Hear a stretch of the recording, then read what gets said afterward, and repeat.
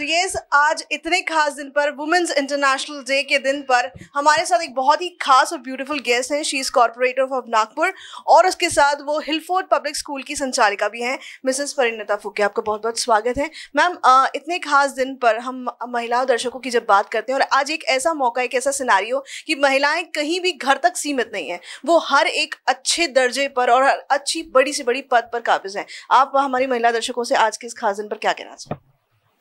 आ, सबसे पहले तो मैं आज इस अंतर्राष्ट्रीय महिला दिन पे सभी महिलाओं को बहुत बहुत महिला दिन की शुभेच्छा देना चाहती हूँ।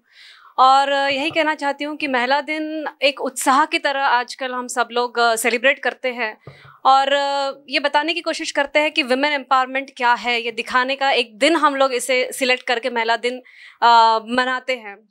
अभी ऐसा है कि हर साल एक थीम महिला दिन पे दिया जाता है और इस साल का थीम है बैलेंस फॉर बेटर इसी पे मैं कहना चाहूँगी कि बैलेंस फॉर बेटर यानी लेडीज़ ने किस तरह खुद का बैलेंस करना चाहिए।